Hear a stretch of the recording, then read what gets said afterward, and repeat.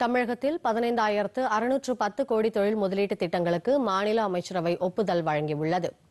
தமிழக முதலமைச்சர் மு ஸ்டாலின் தலைமையில் மாநில அமைச்சரவை கூட்டம் நேற்று நடைபெற்றது. சென்னை தலைமைச் செயலகத்தில் நடைபெற்ற இந்த கூட்டத்தில் வரும் ஒன்பதாம் தேதி தொடங்க உள்ள இந்த ஆண்டின் முதல் சட்டமன்ற கூட்டத்தொடர் குறித்து ஆலோசிக்கப்பட்டது.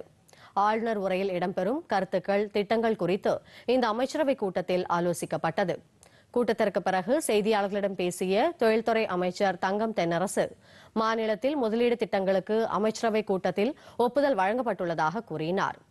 மின்சார வாகன உற்பத்திக்கு முன்னுரிமை வழங்கும் வகையில் ஒப்புதல் வழங்கப்பட்டுள்ளதாக தெரிவித்த அவர் புதிய தொழில்நுட்ப முதலீடுகள் மூலம் எட்டாயிரத்து எழுநூற்று இருபத்தி ஆறு பேருக்கு வேலைவாய்ப்பு கிடைக்கும் என்றும் தெரிவித்தார். குறிப்பாக தென் தமிழகத்தில் அதிக முதலீடுகள் பெறப்பட்டுள்ளதாகவும் மேலும் பல முதலீடுகள் பெறுவதற்கு நடவடிக்கைகள் எடுக்கப்பட்டுள்ளதாகவும் அமைச்சர் தெரிவித்தார். போச்சம்பள்ளி தேனி புதுக்கோட்டை மற்றும் சென்னையை ஒட்டியுள்ள பகுதிகளில் முதலீடுகள் அதிகரித்துள்ளதாக அவர் கூறினார். பரந்தூர் விமான நிலையத்தை ஒட்டி ஏற்கனவே பல தொழில் பூங்காக்கள் உள்ளதாகவும் இது தொடர்பான முன் ஏல சந்திப்பில் அப்பகுதி மக்களின் கருத்துக்கள் தொடர்பாக தொழில்நுட்பம் சார்ந்து ஆலோசிக்கப்பட்டுள்ளதாகவும் அமைச்சர் தெரிவித்தார்.